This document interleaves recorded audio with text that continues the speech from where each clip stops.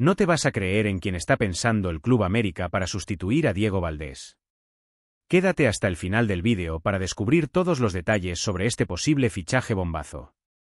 Antes de empezar, no olvides suscribirte al canal, activar la campanita de notificaciones y darle like al vídeo. El gran éxito que el Club América ha conseguido en los últimos meses de la mano de André Jardín no ha pasado desapercibido para muchos equipos extranjeros. Estos han puesto sus ojos en las estrellas del equipo azul crema, intentando desmantelar al que ha sido históricamente el mejor bicampeón de la Liga MX. Este éxito también incluye la conquista del Campeón de Campeones 2024 y la Supercopa de la Liga MX 2024. Una de las grandes referencias del Club América, responsable de este gran éxito, es el centrocampista chileno Diego Valdés.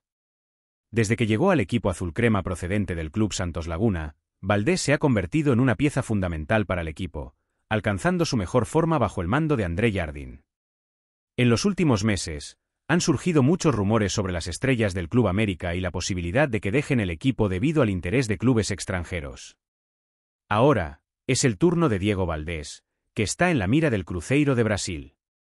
Según varias fuentes, el club brasileño ya habría hecho una oferta al América de cerca de 7 millones de dólares por el chileno. La importancia de Valdés para el equipo de André Jardín es indiscutible.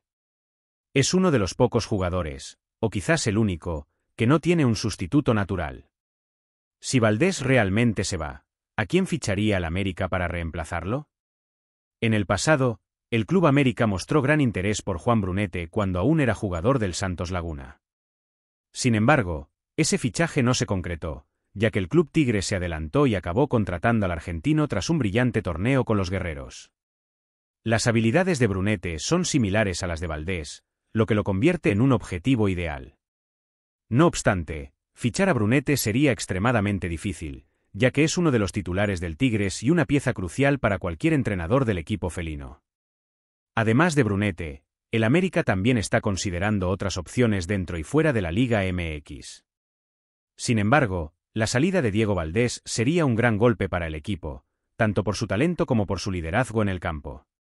El técnico André Jardín ya ha destacado repetidamente la importancia de Valdés y siempre busca formas de mantener su condición física en alto nivel para contar con él en todos los momentos. Entonces, ¿quién será el elegido para sustituir a Diego Valdés si realmente acepta la oferta del Cruzeiro? Dímelo en los comentarios y sigue atento a nuestro canal para más actualizaciones y descubre quién puede ser la nueva estrella del Club América.